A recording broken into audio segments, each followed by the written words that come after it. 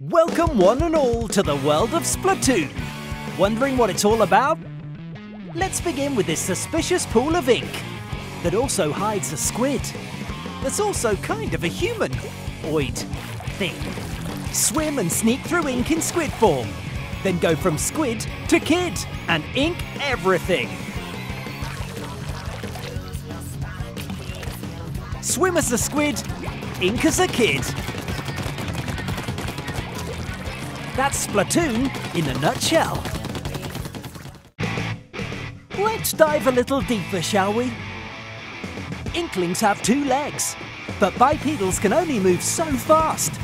Let those tentacles do the work and zip through the ink as a squid. Leap out of the ink and use your momentum to get even more air. Walls can also be scaled, as long as they're inked. Going up! Use gyroscopic motion controls to aim your ink. From there, it's just like using a water gun. Aim, splat, repeat.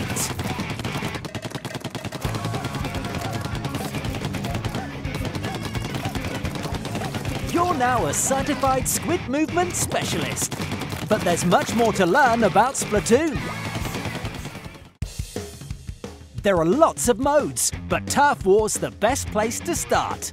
It's a three minute 4 versus 4 battle, where the goal is to cover more of the stage with your ink than the opposing team.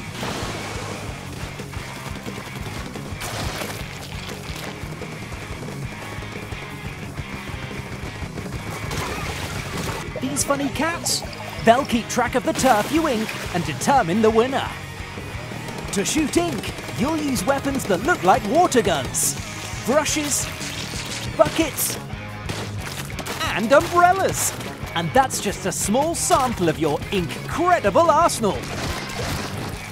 Inklings are highly mobile while moving through their own ink, but they'll slow right down when trudging through enemy ink. Reclaim turf by inking over enemy territory.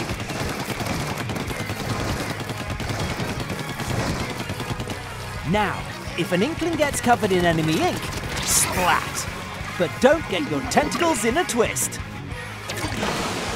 You can actually get splatted loads of times and still win. After all, the goal is to claim more turf than your opponents. If you're not one for confrontations, you can just focus on inking the environment around you and still achieve a victory.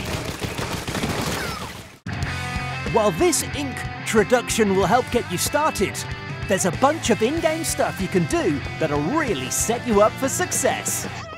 For some extra practice, check out these three modes. First, the test range. Try out weapons between battles and practice aiming at squid-shaped balloons. You can change out your main weapon here anytime, so swap as you see fit and find your faves. Next up, recon mode. Take a self-guided tour of battle stages and plan out strategies, or just admire the scenery. There aren't any opponents, so look around and splat at your leisure. Splatoon 3 also has a robust story mode that's great for getting to grips with the game. Play solo and go on a hair-raising adventure to fight the fuzzified Octarians. Get your bearings and journey through a story fraught with mystery and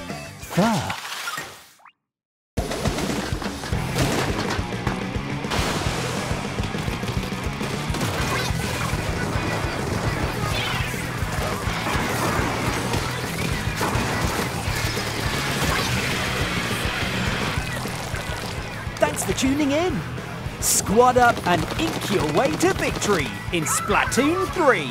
Out now. Happy splatting.